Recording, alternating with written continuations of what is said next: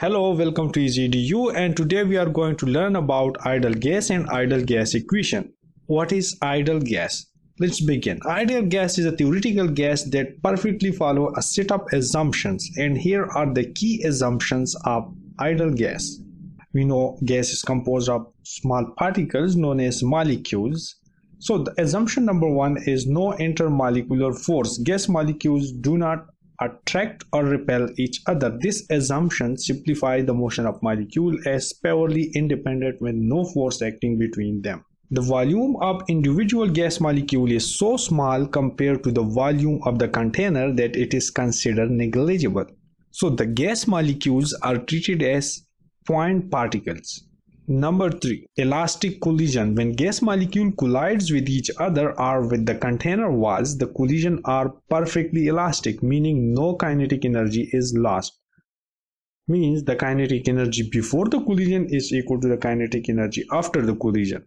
And there is no loss of energy. Number 4.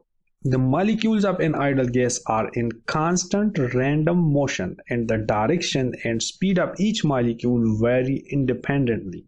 So these were the key assumptions of ideal gas.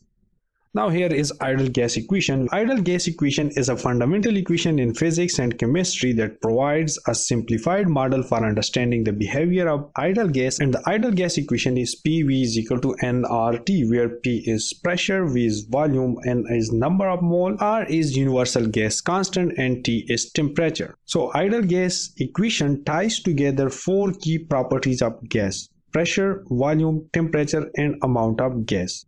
Here is how each component plays a role.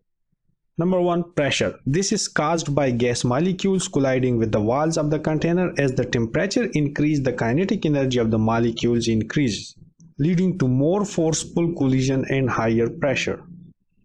Number 2 volume. The volume is space occupied by the gas according to the law as the temperature increase with constant pressure the volume expand and as the pressure increase with constant temperature the volume decrease. Number 3 temperature. Temperature is measured in Kelvin. Temperature is directly proportional to the average kinetic energy of gas molecules. As temperature rises, the speed of gas molecules increase where the small n represents number of moles and the amount of gas is measured in moles. More gas molecules means more collision with the container walls, increasing the pressure if volume and temperature are kept constant. Where R is the gas constant and the gas constant provide the proportionality factor to relate pressure, volume, temperature and the number of moles. Ideal gas equation combines Boyle's law, Charles's law and Avogadro's law to form an equation for the ideal gas properties. Ideal gas law holds more accurately under condition of low pressure and high temperature. In such an environment, the gas molecules are far apart and their individual volume and intermolecular force are insignificant. As a result, real gases approximate ideal behavior. The ideal gas behavior breakdowns under certain conditions at high pressure. When the gas molecules are compressed at high pressure, their finite volume becomes significant and they no longer behave as point particle. While at low temperature, gas molecules move more slowly and intermolecular attraction van der Waals forces become important. This can lead to condensation where the gas transition to a liquid which the ideal gas law does not account for.